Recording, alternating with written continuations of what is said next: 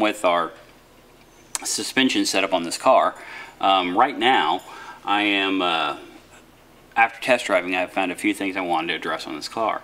Um, for those of you who don't recall, I'm running a very vintage tire and wheel combination on my car. Obviously, I'm running a paint scheme that doesn't really add up by today's, you know, looks and feels of a car. This is all very vintage feeling.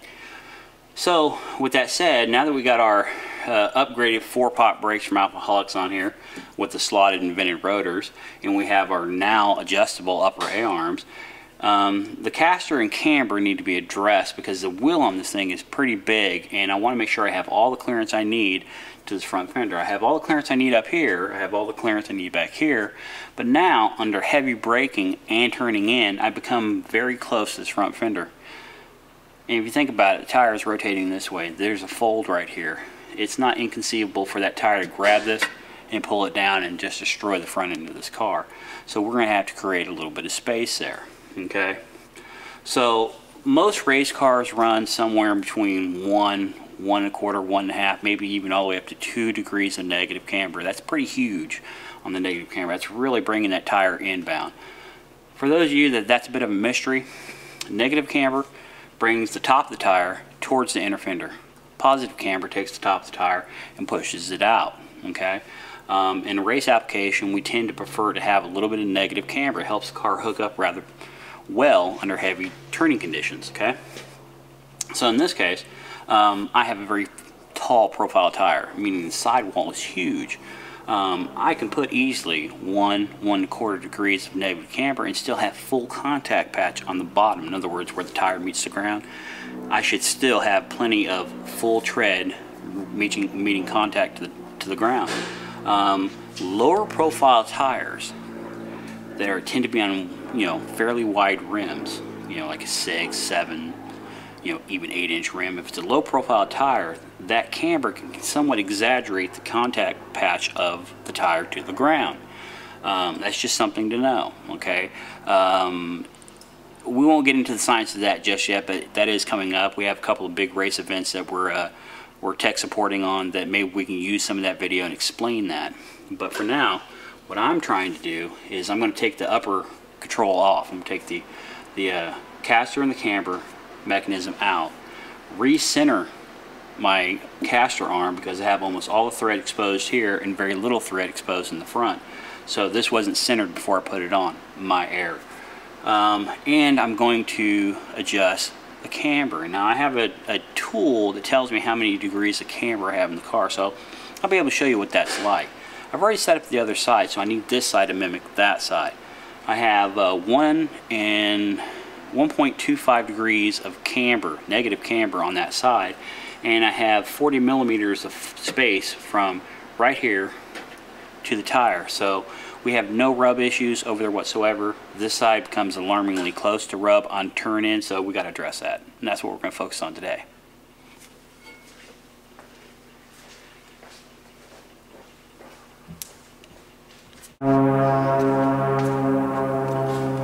It just occurred to me that I probably didn't explain why I was doing all this in the first place. Um, basically, what I have is, and now that it's almost done, I'm to just take it out. Okay, again, the caster arm. You can see that very little thread here has been used, but a substantial amount of thread here has been used. So I need to recenter this before I put it back in and make sure it's, you know, reasonable. But the primary reason why we're going through all this is because when I was trying to get the, the uh, camber pulled in on this side, my adjustable camber arm wasn't being too cooperative. So I think what we're gonna end up having to do is we're gonna have to take it out, clean all the threading and see why it's being so resistant to adjusting in. So let me get it out and see what we can do about that.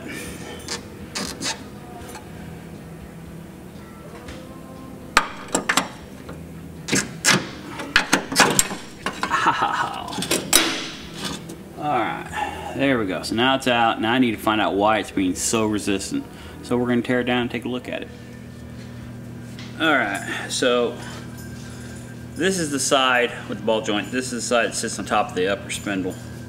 So that side seems to be threading just fine. The problem is, is the side that goes towards the inner fender. Excuse my dog. That's Otis the Great Dane. He's a bit of a shop dog on the weekends. Anyway, so Otis and I are going to try to figure out what's going on with this. Okay. What I think about it is, is the nuts on the adjustments, the nuts on the inner and the outer, they are 24 millimeter. This center nut is actually uh, a one inch or a 25 millimeter, so I need to get that on there.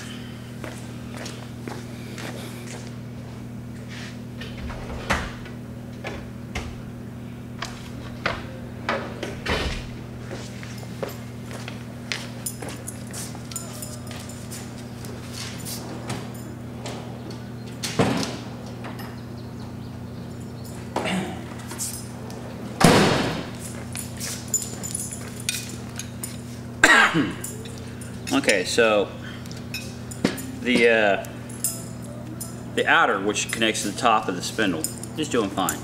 Um, that threading was real clean, there's no problems there, but I can't get any adjustment of it feeding in uh, to create that negative camber. So what you're gonna need is 24 millimeter for the outer nut, and the center nut's actually 25 millimeter. So once you get that tension off of there, you should be able to, in theory, get it off.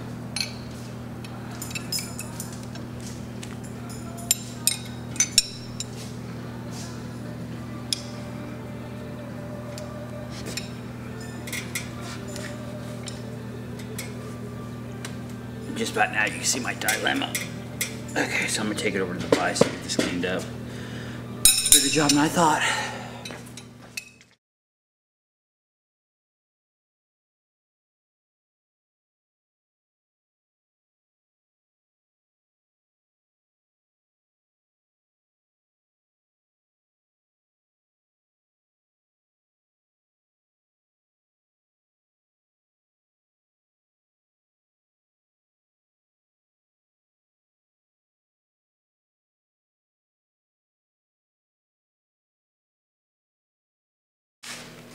Okay, so we're going to try to wrap up this whole front suspension pros and cons thing maybe over this particular episode or maybe one more after this, depending on how all this gets edited.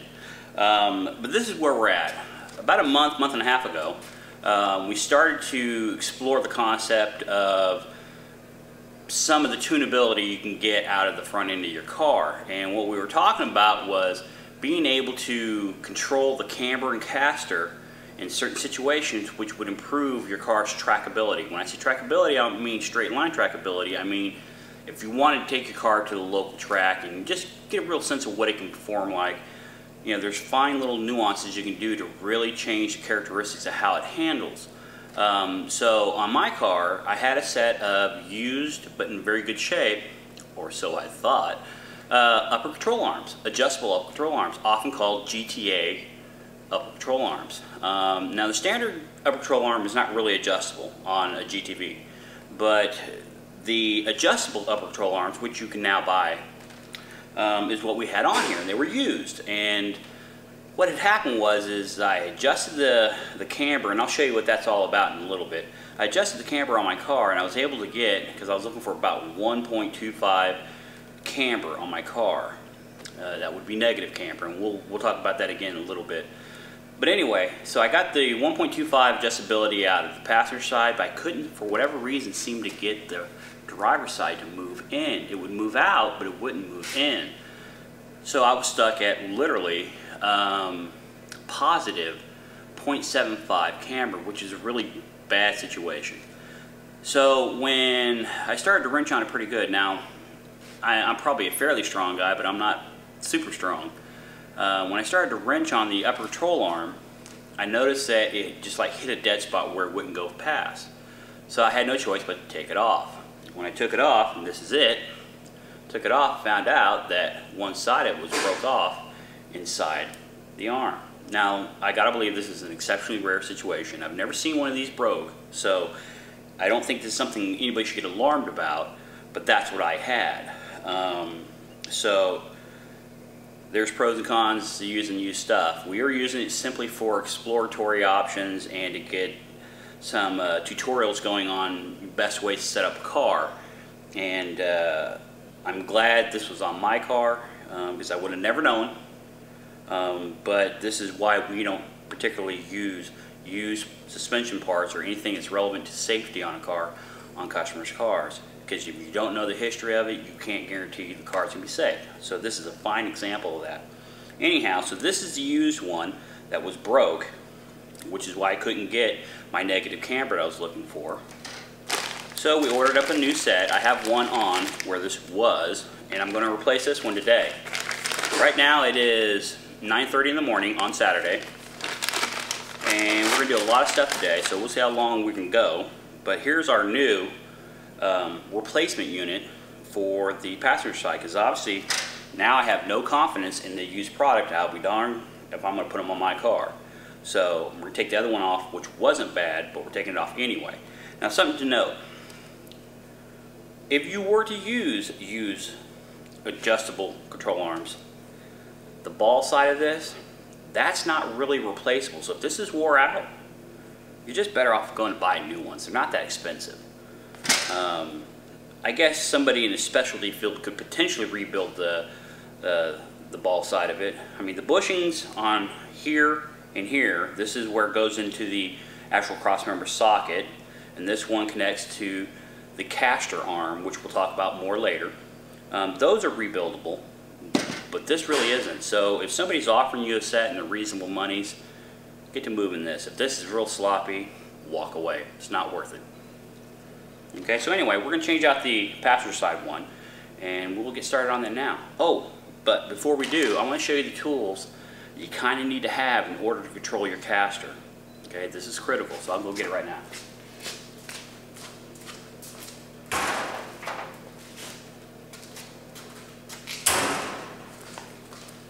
Now we're using a 14 inch rim. So this is cut to sit in the bead of our 14 inch rim perfectly, okay? This is a very true piece of square tubing, so I trust that its measurements can be accurate. And then I also use, and these are actually fairly cheap and probably not a bad idea to own one. Um, this is a digital mag protractor, okay? So basically what I do is I take this, connect it to that, it's magnetic, power it up, and I put it up against the rim. And again, I'll show you later what that's all about. Put it up against the rim. Once I know that the car is settled into its perfectly drivability stance, then I adjust, and because this reads in 0.05 increments, I can get very, very accurate with how the camber is on my car. So I'll show you what this is all about later. But uh, you can get one of these digital, high quality, uh, digital mags. You can get one of these for probably about 75, 80 bucks. Um, if you're only going to adjust the car one time, you're probably better off taking it to somebody. Um, but if you think you're going to play with the tunability of your car a lot, it might not be a bad idea to have one of these.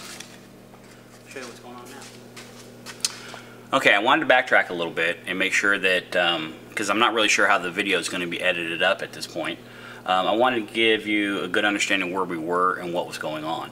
Um, this piece right here, this is the camber arm, okay?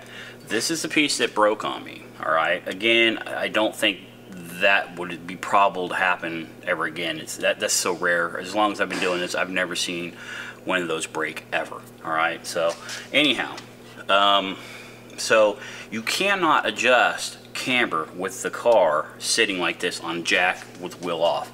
It has to be in its fully relaxed ride stance. All right. So even if I put the wheel back on and lower the car back down, it's not a ride stance at that point. The car has to be moved around and settled into its position. At that point, then you can actually adjust this. Um, reason is is because the car's characteristics can be all sorts of different. Because right now, the wheel would naturally want to swing this way because the arms drop down. Okay. So once it sits back down the wheel, and the wheel's on the ground, it still has probably a little bit of positive camber at that point. That's why you have to move back and forth to get the wheel to kind of kick back in and be relaxed where it would normally be if you're on the road. All right, so again, um, we're going to replace the camber on the other side simply because we have two brand new ones now. And then we're going to focus on the value of adjusting the caster. Maybe not in this episode, maybe later, I'm not really sure. Um, but the focus of this conversation right now is justifying when to correct your your um, your camber. In my case, because I have such a large profile tire, because I'm running a vintage series uh, tire, um, I can get away with running a little bit of uh, camber, meaning negative camber. Okay, so I'm going to run 1.25 camber. That's actually quite a bit. Um, full dress race cars run, depending on how they're set up and depending on what kind of wheels are on them and tires.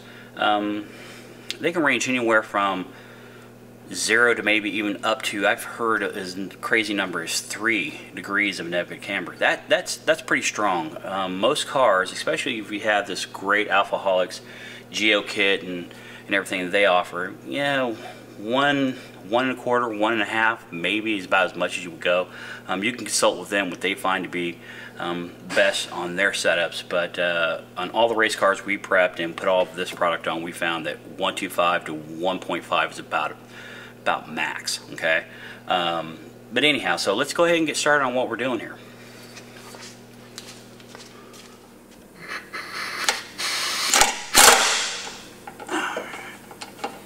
Okay, a little bit of disclaimer time. Getting the cross member pins out is exactly, uh, it's not a hard job, but they're pretty difficult to get to. If your battery is located in the front of your car, be careful about that. You might want to disconnect it because you come very close to the high voltage wiring in order to get to these pins. And on this side, if you have an early car, you have your fuel filter up here, you have fuel lines up here, the bottom of the carbs are up here. Be careful of all that. Um, and use the minimum amount of force you need to get these out. Now the thing of it is, is I've already taken these out a few times now over the last six, seven months. So these are going to come apart for me pretty easily. Um, but I have a jack sitting underneath the bottom of the uh, spindle to support it because once I pull this upper control arm out, that thing's going to want to fall. The spring's there. It, it's a potentially dangerous situation is what I'm saying. So you want to support the, the cross, or the, uh, you want to support the spindle and everything in this area because you got brake lines there, you don't want to stress them. And so as you can see, I have a jack here holding the spindle in place. So once I take that upper control arm off, this thing's going to fall away this way. So um, we're just going to get to it. Alright, I push the pin out, bolt's off. And yeah, I do understand that I have the luxury of a lift here, but this is something you can achieve in your own driveway. It's just going to take time. We started in on this at approximately about 9.30.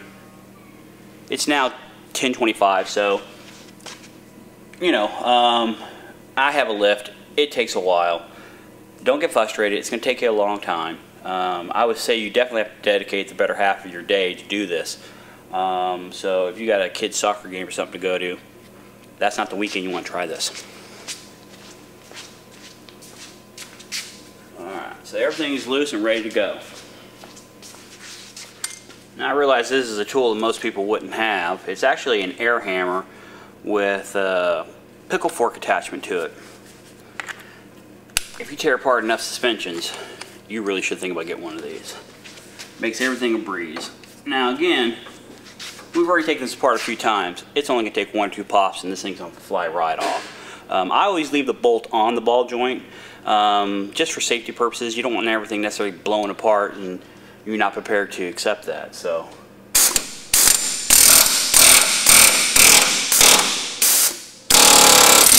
There.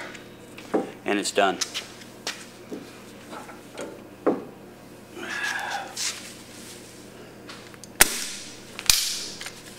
Now we're ready to take this thing apart.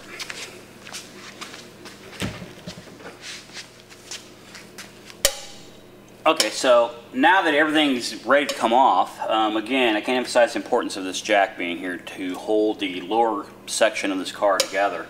Um, so now I'm going to take the old adjustable upper arm off.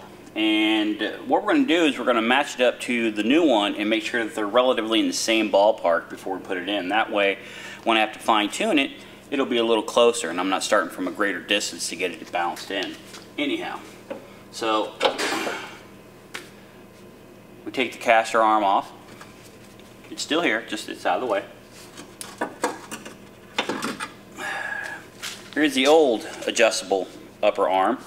And now I'm going to pair it up with the brand new one and make sure that they're relatively same exact distance apart from here to here, center of this. And then we'll put it back in, or put the new one in, I should say.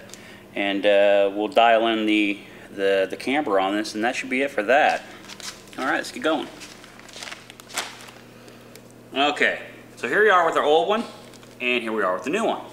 So, as you can see, they're not exactly lined up to the same height. The new one is a fair amount shorter. So, making sure that you're distributing the threads equally away from one another, um, we're going to back them out to match the length that we need. Alright, so there's that. So the ideal way of doing this is keeping both the front and back of the arm stable in one place and loosening up the lock nuts and just back it out until it meets what you expect it to meet. I'm keeping this and this effectively about the same location, just letting the back part, the part that receives into the uh, cross member, allowing it to just back down. Okay, and I'm also paying attention that my threading on both sides of the adjustment are equally backing out. Okay, so that's that's uh that's pretty doggone close. So what I'm gonna do is I'm gonna just bring the nuts back out to the points where they're close enough that they don't move. Okay, it's kind of locked down, if you will. And now we'll put the new one in. It's just that simple. Okay, as you can see from our digital mini mag, we're at 1.65 uh, negative degrees of camber. So what I'm going to do is I'm going to adjust it and bring it into about one, maybe a one and a quarter at the most. Um, we're just going to get it close for now. We'll fine tune it later. Um, but the point is, this is just an exercise to show you as to how to adjust the, um, the, the camber on the car. Um, and really, you can't do it by sight. You really need something that can appropriately measure it. Now, the steel beam you see resting up against the rim, we confirmed that it's completely square, and we know that it's absolutely proper. And it, we cut it to fit just to the inside of the bead of the rim, so it doesn't have a whole lot of room to move around. And so now our tool works very effectively. We've uh, tested this many times to confirm that it was good, and it is. So now I'm going to adjust it a little bit more. Um, you need a 25 millimeter or a one inch uh, wrench to actually adjust it. Um, the outer locking nuts are 24 millimeter, but the inner nut um, is a 25 or a one inch. So now I'm going to adjust it a little bit. Because we're so close up, um, it's to probably be difficult for you to see what I'm doing. So I'll back the camera up so you can see. Alright, so more or less that's there.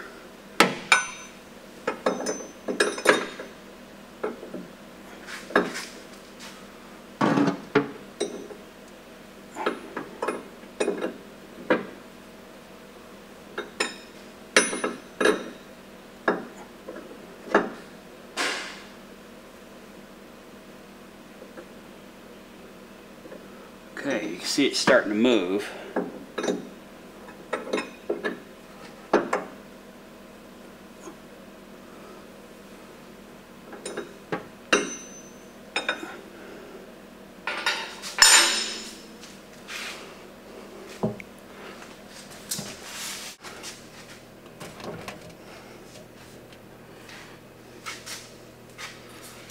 So this is the nut we're adjusting right here, okay? Um, it's there's the locking nut, the center, and the opposing locking nut. So we're focusing on just the uh, center nut because the two outers are already loose.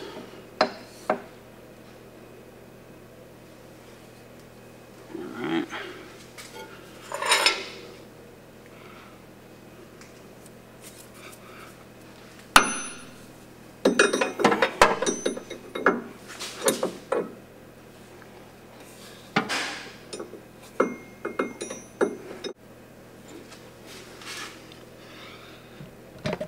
Okay. After adjusting it, you can see that we're sitting at 1.25. That matches the driver's side of the car. So we'll lock them down from here and we'll see how our trackability is and our turn-in ability and get a sense of where we're going from there. But I'm not really a big fan of getting any more than that out of a car that's really primary purpose is uh, street ability. Uh, we'll see some track efforts, but nothing in a competitive fashion. It's just going to be something to shake the car down and have fun with. So, uh, my recommendation is if you're going to do something like this, I really don't see a reason why one would ever go past uh, one and a half degrees of negative camber um, because it's all about the footprint of the tire and the contact patch. You need to have lots of contact patch for the full grip ability of the car.